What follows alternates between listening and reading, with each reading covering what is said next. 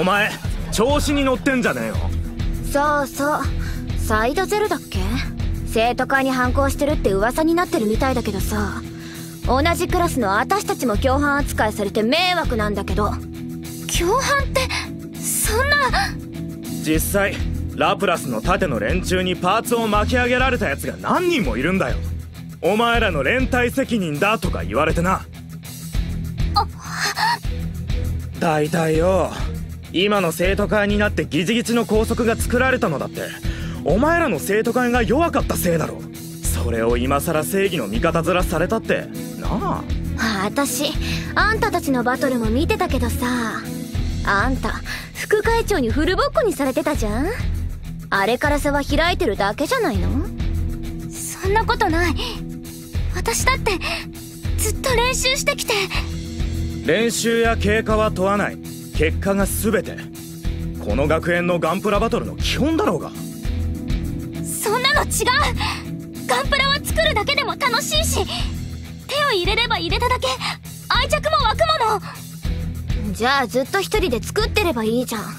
私らを巻き込まないでよね。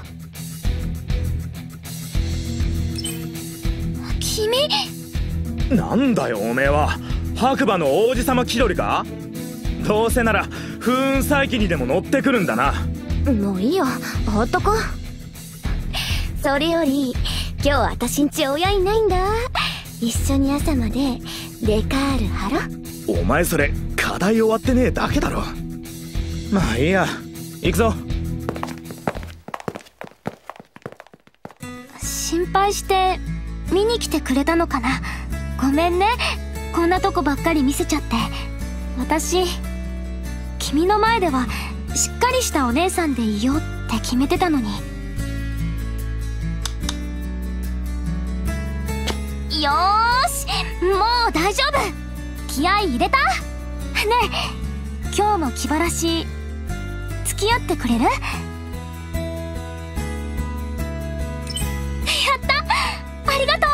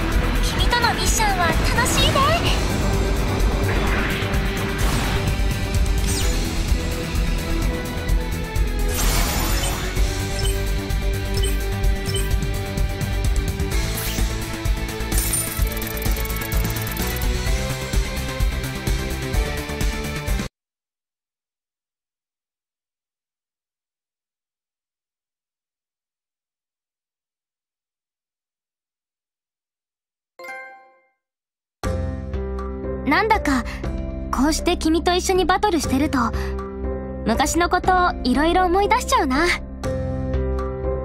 あの頃よく一緒にガンプラ作ってたよね。朝から晩までお父さんたちに怒られるまで。うん？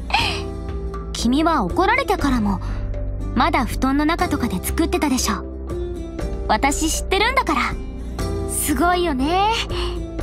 私の方がお姉さんなのにいっつも私より上手に作ってた。ガンプラ作り以外は点でダメなのに私君の作るガンプラが好きだった。なんていうのかな。あったかいそんな気がして。なんてちょっと恥ずかしいことも君にはなぜか言えちゃうんだよね。とにかく私は平気。本当に一人きりだったらくじけちゃってたかもしれないけど今はいおりちゃんやまりかちゃんそれに君がそばにいてくれるもの泣き言なんて言ってられない。もう二度と負けないんだからこれからもよろしくね。